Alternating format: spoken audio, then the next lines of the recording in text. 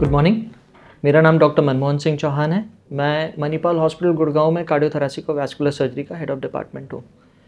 आज हम heart disease में स्ट्रेस के रोल के बारे में बात करेंगे। जितने भी हमारे पास हार्ट अटैक के साथ जो पेशेंट आते हैं, उनमें जो पेशेंट्स 30 से 40 साल के बीच में होते हैं, उनमें 40 परसेंट इन मरीज़ों में स्ट्रेस एक मेजर कॉज के सा, की तरह सामने आया है हार्ट अटैक के लिए। ये स्ट्रेस जीवन में बहुत जल्दी शुरू हो जाता है। जब हम स्कूल में होते हैं तो स्कूल में हमें एग्ज़ाम्स में अच्छे मार्क्स का स्ट्रेस होता है। कॉलेज में अच्छे कॉलेज में एंट्री हो एंट्रेंस में आ, अच्छे मार्क्स आए अच्छे कॉलेज में एंट्री मिले उसका स्ट्रेस होता है। और आगे चल के जब हमारी जॉब लगती है तो हमें एक पर्टिकुलर लाइफस्टाइल को मेंटेन करने का स्ट्रेस होता है। जिसमें अच्छी गाड़ी अच्छा कपड़ा फाइन डाइनिंग और अच्छा घर इन सब का स्ट्रेस रहता है। वर्क प्लेस पे toxicity is a major cause of stress in many people one of the major cause of stress is to keep yourself relevant to your organisation उसमें you have to try new things different things being innovative is in self a major stress अब ये stress आपने और चीज़ें social media में कई young influencers हैं जो बहुत अपना लेविश लाइफस्टाइल फ्लॉन्ट करते हैं, जिसकी वजह से आपको महसूस हमेशा होगा कि आप एक अंडर अचीवर हो, आप वो चीज़ उनकी तरह अचीव नहीं कर पा रहे हो। इस अनहैप्पीनेस की वजह से भी बॉडी में स्ट्रेस होता है।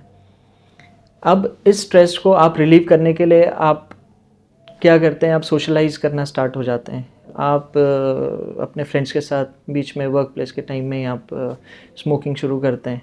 स्मोकिंग फिर शाम के टाइम अल्कोहल ले ली। अल्कोहल अगर मान लीजिए कोई आदमी अल्कोहल लेता है, दो घंटे के अंदर अगर चार पैक अगर ख़त्म कर रहे हैं तो अपने आप ही seventy percent chances heart attack के बढ़ जाते हैं।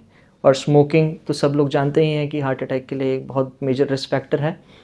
और ये सब हमने किया स्ट्रेस को रिलीव करने के लिए, लेकिन ये आपको हार्ट अटैक की तरफ़ अपने आप ही ले जा रहा है। लेकिन स्ट्रेस के साथ बात यह है कि स्ट्रेस हमारी बॉडी में क्या क्या चेंजेस लेके आता है, कि स्ट्रेस की वजह से कॉर्टिसोल नाम का हार्मोन है। वो रिलीज़ होता है और वो परसिस्टेंटली आपका बढ़ा हुआ रहता है।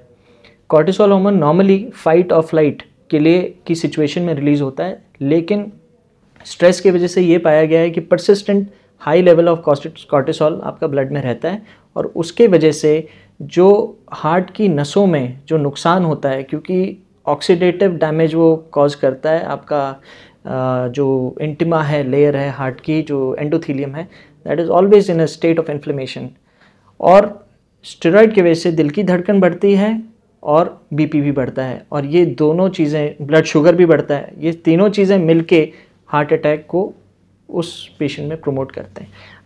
इसके लिए हमें जो ध्यान देना है, हमें अपना लाइफस्टाइल चेंज करना है, हमें अपने लिए कम से कम एक घंटा दिन में निकालना चाहिए, जिससे हम मेडिटेशन कर सकते हैं, हम एक्सरसाइज कर सकते हैं।